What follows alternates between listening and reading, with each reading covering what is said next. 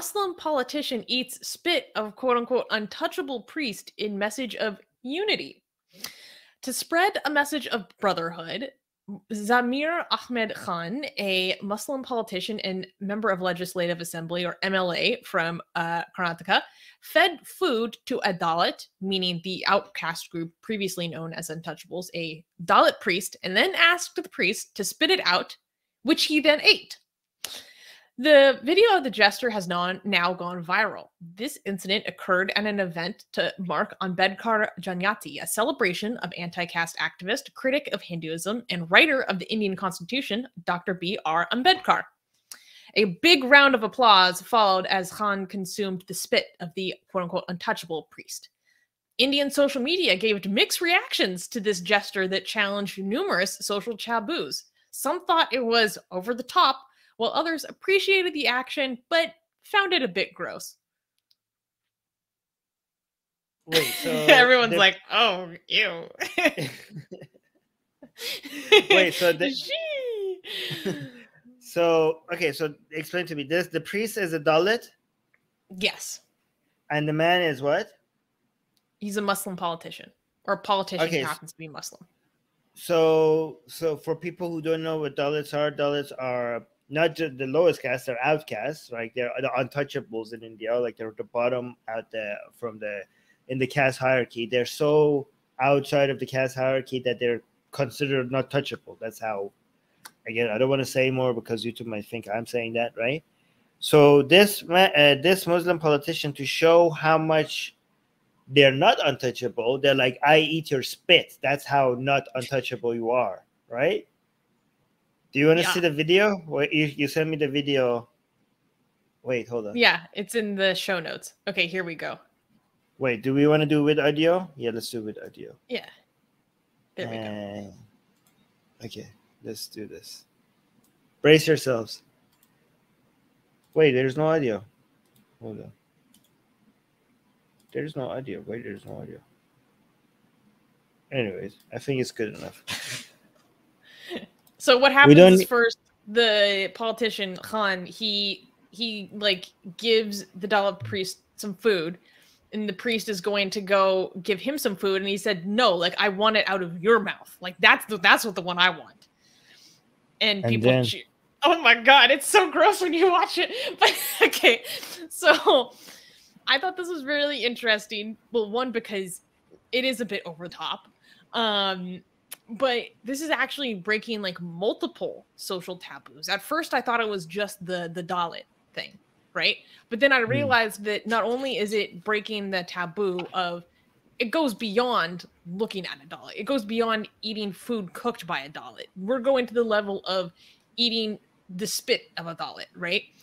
So it's it's challenging untouchability to like the nth degree.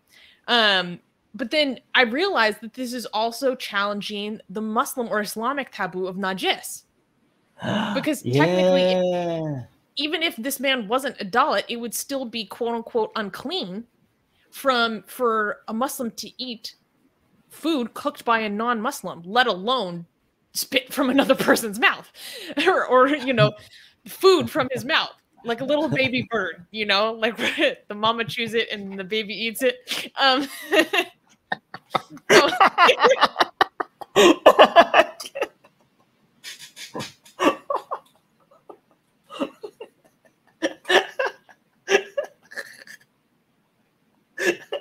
oh,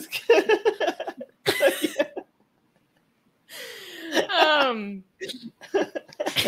okay, okay. People say they can't watch. Let me stop this. yeah, just please pause it. Um,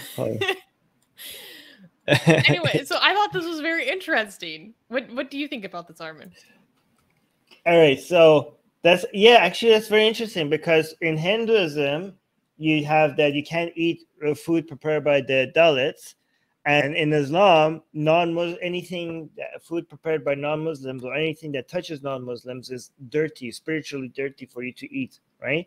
So this is breaking two taboos at the same time, but the most important taboo that they shouldn't be breaking is spreading germs, okay? Especially at an era where we're de- where we're dealing with a pandemic, okay? That's one taboo. you shouldn't be breaking. I encourage those other taboos being broken, but this is a taboo that I endorse, I support, okay? Not spreading your germs, okay? This is not good. Like are they not are not are they not breaking like anti-pandemic regulations?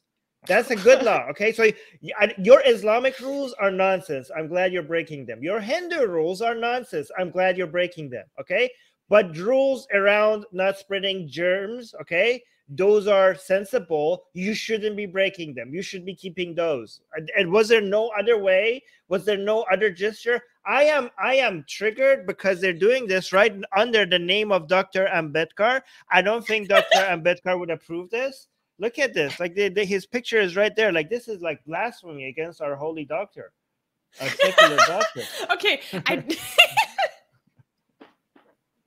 the Ambedkar blasphemy. Um, yeah. So that was so I follow like pretty much every mainstream Indian news source on Instagram. So I kind of like to gauge the reaction of people in India, like from what I see in the interactions uh, on these pages online. And that was Armin, that was pretty much the exact same reaction of most people when this was posted on Instagram. They're like, okay, this is nice and all, but like we have some like public health rules nowadays. like, yeah.